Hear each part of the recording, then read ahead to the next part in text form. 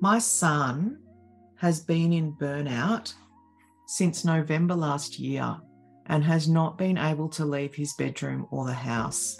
We have lowered all demands and expectations for him, but this seems to have made his demand avoidance even worse. Could you please explain the best way to support a child through burnout? This is a very important question and it's multi layered. Every child is completely individual.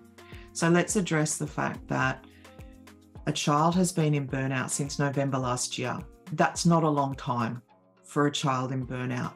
I don't know the specifics around this. Is the burnout associated with school? If it's associated with constantly putting ourselves into an environment where we're masking or fawning, burnout can last days, weeks, months, or years. If it's with school, it is going to take a while. When we bring our children home from school or when they're burnt out and we withdraw them for rest and recovery, we lower demands. Sometimes we have no demands and no expectations, and we encourage rest. We also expect that the burnout might pass quickly.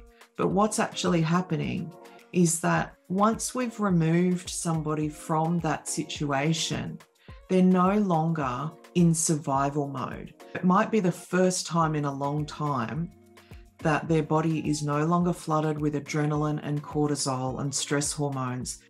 And if you think about a child who's going into that environment or anticipating going to school or any other stressful environments every day, whether they go or not doesn't matter. It's the thinking that creates the stress and the distress. So the child or the person is in a stress response. Threat response is activated consistently. That is in itself exhausting. When they're no longer in that state of being, the exhaustion is allowed the space to actually come about and set in.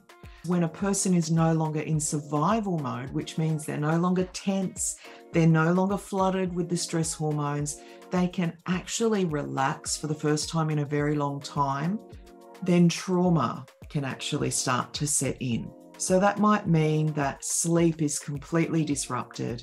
It might look like a child that is sleeping all day and gaming all night because nighttime might be what is perceived by their brain as the safest part of the day. There are no people, there are no demands.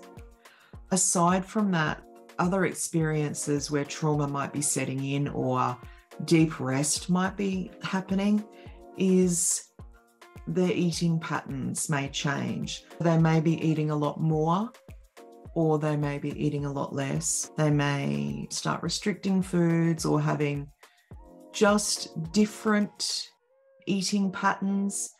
They may introduce new rituals that will often look like OCD anxiety may be heightened.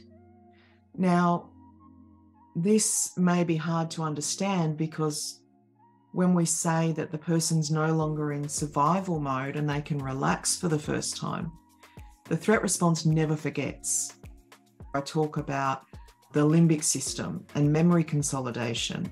And that PDA is this incredibly protective beast that lives within and remembers everything that presents a lack of safety. What this means is, even when we're out of that environment and we are able to breathe, the brain holds on to those memories and the limbic system reacts accordingly. So it can be that sudden noises or nightmares or certain smells or certain sensory input or certain memories are just flooding the sensory systems. What happens is the processing of all those really tricky experiences and those memories will start to show up. And the child may not be able to communicate this. It would be rare for a 10 year old to be able to say, Hey, I think I'm experiencing the aftermath of trauma. Instead, we need to look at their behavior and notice subtle or even significant changes. Recovery takes a long time